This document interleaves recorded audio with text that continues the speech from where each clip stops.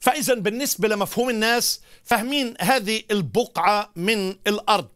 في ناس بيبنوا على الجبال لكن بعض الناس اللي ممكن يبنوا في الوديان. طبعا في في فصل الشتاء وبالذات إذا بتروح لمناطق الصحراء في الجنوب حتى الناس اللي بتبني يمكن تبني على الرمال. لأنه يعني ما فيش مطر. بالصحراء يمكن بتمطر شيء بسيط بسيط بسيط جدا في السنة. بس في عنا مشكلة. بتمطر مطر شديد جدا في مناطق العالية. الجبال مثل القدس مثل الخليل ومثل بيت لحم. ولأنه جبل عالي طبعا على طول بتنزل بين وديان. وتصل إلى الجبال التي تطل عند البحر الميت أو مناطق الصحراء. وهاي المياه تتحول إلى سيول تتحول إلى أنهار وفعلا تاخذ كل شيء أمامها.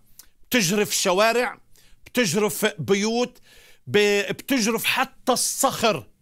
بتلاقيه يتساقط من الجبال بسبب تلك السيول فتضرب البيوت المبنية مش على أساس لأنه ما فكروا بحكمة إنه مش عم بتمطر. لكن بتمطر في منطقة تانية اللي بتنزل السيول والأنهار بتضرب هذه البيوت. حتى في الجليل المناطق اللي عاش فيها الرب يسوع. الناس اللي بتكون بانية في في المناطق المنخفضة إذا ما كانش أساس متين وقوي بتنجرف أيضا مع قوة المياه اللي بتنزل من الجبال.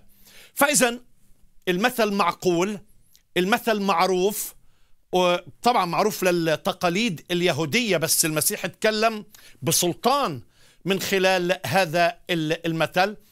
والمسيح من خلال الكلام بالأمثال عم بيعبر عن أمور طبيعية سواء الزراعة أو صيد السمك أو التضاريس الجغرافية في تلك المناطق.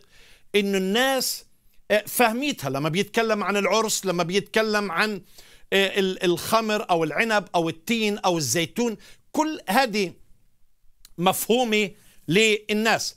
لكن شو المشكلة أحبائي؟ في ناس بتخدع أنفسها مش عاملين بالكلمة كما يقول الرسول يعقوب.